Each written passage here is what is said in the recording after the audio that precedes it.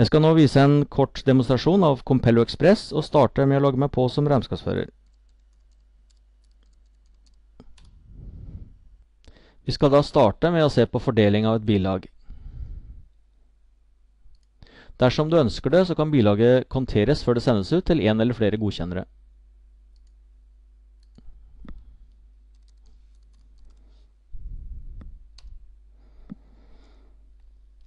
Bildet som vises kan også fjernes midlertidig for å få mer plass til konteringsinformasjon. Alternativt så kan bildet vises på en separat skjerm for å få utnytte plassen bedre.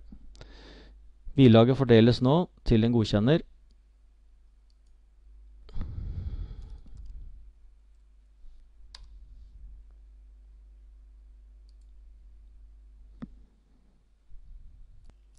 Jeg skal nå logge meg på som godkjenner og se på bilagene som er fordelt til meg.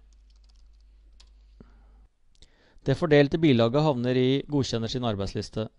Godkjenner kan i tillegg varsles via mail, f.eks. en gang per dag, dersom vi har bilag til godkjenning.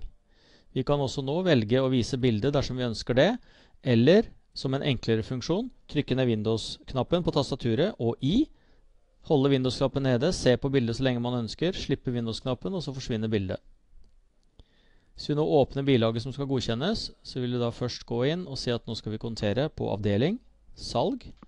Jeg taster inn salg, velger det, går videre til neste, hvor jeg da skal ha på prosjekt. Og nå har jeg fra dette punktet tre valg. Jeg kan enten godkjenne bilaget, jeg kan avvise bilaget hvor jeg må legge inn en kommentar, eller jeg kan videresende bilaget. Jeg velger å godkjenne bilaget.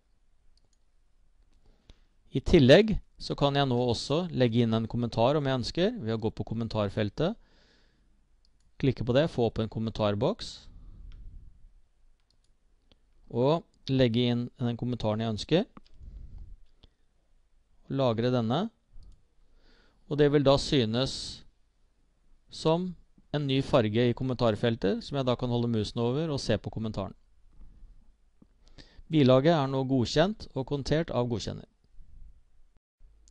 Jeg er nå tilbake igjen som regnskapsfører, hvor vi da kan sjekke og eventuelt fullføre kontering. F.eks. sette korrekt avgiftskoder på bilaget.